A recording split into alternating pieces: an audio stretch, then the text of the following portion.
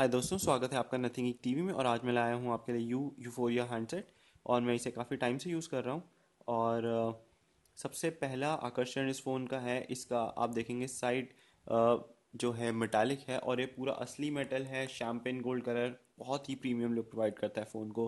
Back plastic है removable है, लेकिन कोई दिक्कत नहीं आती।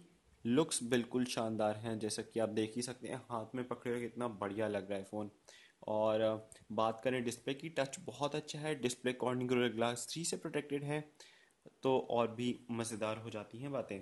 और अगर मैं आप बैक प्लेट रिमूव करके दिखाऊँ बैक प्लेट आराम से रिमूव होती है, बैटरी रिमूवेबल है 2230 यानी 2230 मिली एम्प आर की बैटरी है, जो कि अच्छा बैकअप प्रोवाइड करती है अगर हम हैवी यूजेज नहीं करते तो आराम से एक दिन चलती है। थोड़ा हैवी यूज़ पुट अंदर करते हैं फ़ोन को तो हमें शाम के बाद थोड़ा चार्ज प्रोवाइड करना ही पड़ेगा।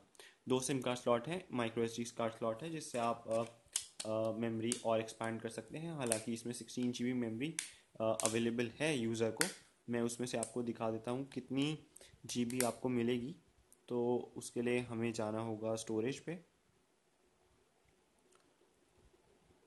हम आते हैं स्टोरेज पे और माफ़ कीजिएगा।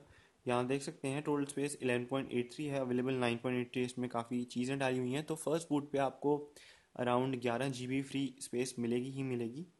और ऐप्स की बात करें, दो जी बी रैम है, काफ़ी स्पेस है। ऐप्स एस डी कार्ड पे मूव हो जाती हैं। ये मैंने चेक करके दिखाया पिछले वीडियो में आप काइंडली सब्सक्राइब कीजिए, यहाँ पे हिट करके अगर नहीं देखा तो। System two twenty one M B RAM ले रहा है ऐप्स टू सिक्सटी वन ले रही हैं फ्री वन पॉइंट फोर है। ये बहुत अच्छी बात है।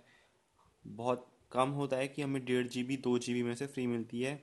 तो साइनोजेन जो इसमें एंड्रॉयड के साथ है, वो काफ़ी बेहतरीन काम कर रहा है इस मामले में। परफॉर्मेंस की बात करें तो मैंने इसमें एन टू बेंचमार्क चलाया था और बाईस हज़ार सिक्स फोर्टी वन का स्कोर है, two two six four one, twenty two thousand six forty one phone हालाँकि नीचे रैंक कर रहा है, लेकिन क्योंकि ये सात हज़ार का डिवाइस है तो ये बहुत बढ़िया स्कोर है इसके लिए। परफॉर्मेंस में कोई दिक्कत नहीं आएगी। रेगुलर गेम्स रेगुलर परफॉर्मेंस में हाँ ये हार्डकोर गेमर्स के लिए डिवाइस नहीं है। वो गेम्स आप बढ़िया नहीं बढ़िया तरीके से नहीं खेल पाएँगे। एसफल्ट एट वगैरह मॉडर्न कॉम्बैट फाइव या और हो गए वो आप लो ग्राफिक सेटिंग पे खेल पाएँगे। लेकिन बाकी परफॉर्मेंस में ऐप्स वगैरह चलाने में इंटरनेट चलाने में कोई दिक्कत नहीं है। मल्टी टच मैं दिखाई दे रहा हूँ इस फ़ोन में आपको। तो आप अ, देख सकते हैं फाइव पॉइंट मल्टी टच है, जो कि बेहतरीन है। परफॉर्मेंस वाइज थम्स अप देता हूँ इस फ़ोन को। मैंने हीट टेस्ट भी किया था फ़ोन हीट नहीं होता। हैवी गेमिंग के बाद भी Future Fight Marvel Avengers run किया था। पंद्रह बीस मिनट में ही चार से पाँच डिग्री टेम्परेचर बढ़ा था, जो कि एक नॉर्मल बात है। उसके बाद हम कैमरे की बात करें तो इसमें आठ मेगापिक्सल का रेयर कैमरा है फाइव मेगापिक्सल का फ्रंट फेसिंग कैमरा है। मैं आपको कुछ इमेजेस दिखाता हूँ, जो मैंने क्लिक करे थे इससे। तो ये आप देख सकते हैं नेचुरल कलर्स आ रहे हैं। हालाँकि डिटेल जूम करने पे बहुत शानदार नहीं आ रही। ठीक ठाक डिटेल है कलर्स बड़े अच्छे आ रहे हैं और ओवरऑल एक इमेज का माहौल जो बनने की बात होती है नेचुरल कलर्स के साथ वो है।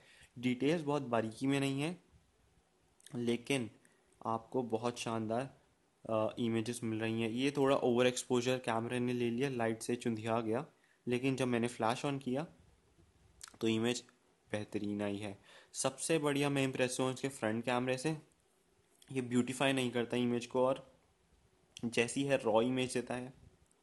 इसलिए कलर्स नेचुरल आ रहे हैं डिटेल नेचुरल आ रही है जैसा कि मुझे पसंद है।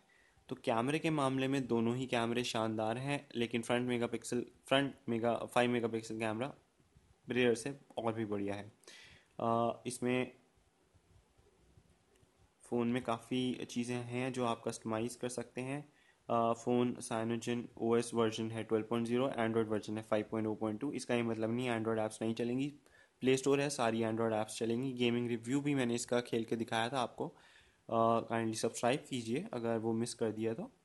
तो दोस्तों, काफ़ी हमने बातें की। Phone O T G cable support नहीं करता, लेकिन माइक्रो एस कार्ड आराम से डाल सकते हैं, जिसमें आप ऐप्स मूव कर सकते हैं एस में।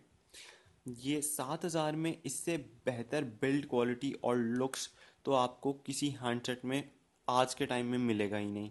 और बात करें डिस्प्ले की कॉर्निंग गोरिल्ला ग्लास थ्री है, जो कि डिस्प्ले को बहुत बढ़िया तरीके से बचाता है।